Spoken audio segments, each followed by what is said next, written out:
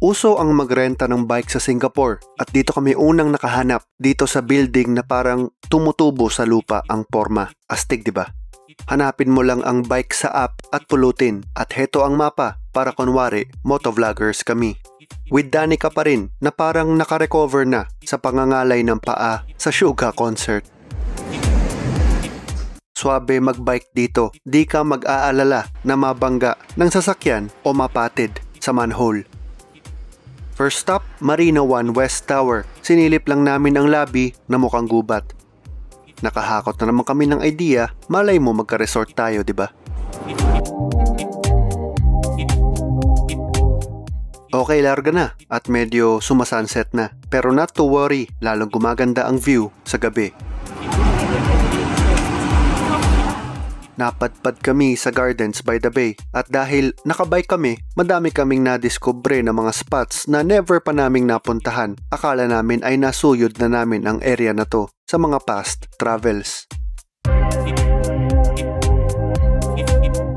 Iba't ibang mga anggulo ng Marina Bay Sands, ang building na mukhang patungan ng surfboard.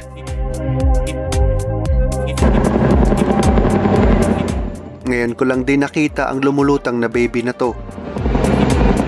Para bang may holiday ngayon sa Singapore, kaya may tatlong helicopter na nagbubuhat ng flag sa taas.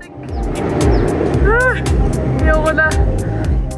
Padyak pa more at napadpad naman kami dito sa cactus area. Sa Gardens by the Bay. Nakakatus, I mean, nakakatusok. Nakakatusok din ang sobrang curiosity. Oh, no, no touch. No, no touch. No, no touch. no, no touch. Saan? Ayoko na. Ayoko na. Nakakatus o nakakapraning yung mga jet fighter sa taas. Parte ng celebration, ganito pala ang pakiramdam sa ilalim ng ingay nila. Ganito siguro ang naririnig ng langgam sa ilalim ng blender.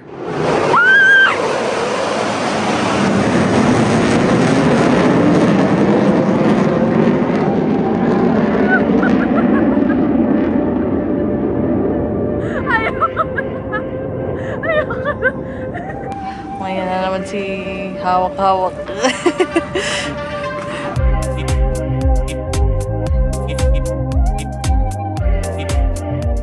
Tama na ang pangangaktus at dito naman kami sa mas malambot, bulaklakan. Pero di na kami pumasok sa flower dome, may ibang araw tayo para dyan.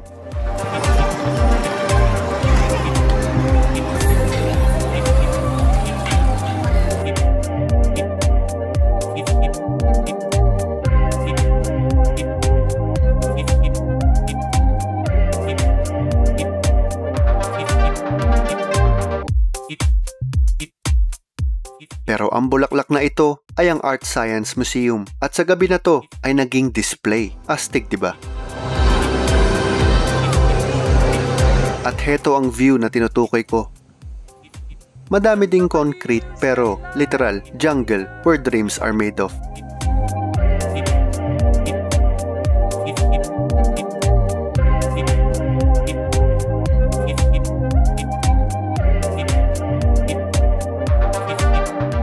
Epic ang marina area, umaga man o gabi. Mas special nga lang ngayon dahil bukod sa lumulutang na flag, jet fighters, meron ding pakaboom.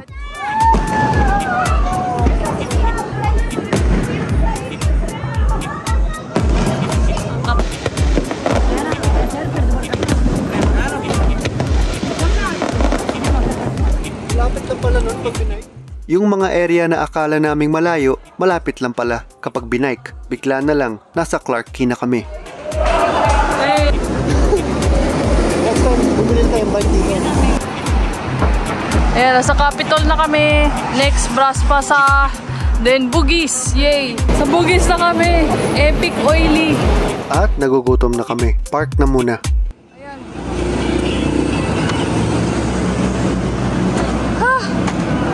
Mamma mia.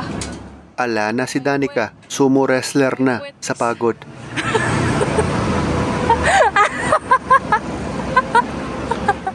Medyo malayo din kasi ang binike namin to be fair to Danica. Wait lang, ito yung mga itsura lang natin. kung ano itsura natin after ilang hours. A total of 10 kilometers. Medyo mapapasumo wrestling stance ka talaga.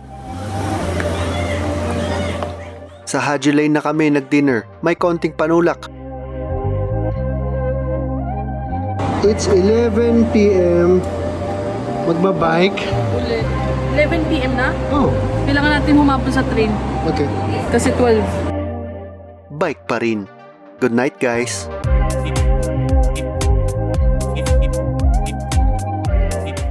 Naikot namin ang Marina area at inabot pa ng Little India. The lesson, masaya magbike sa Singapore. Recommended activity hanggang sa magsumo wrestling stance.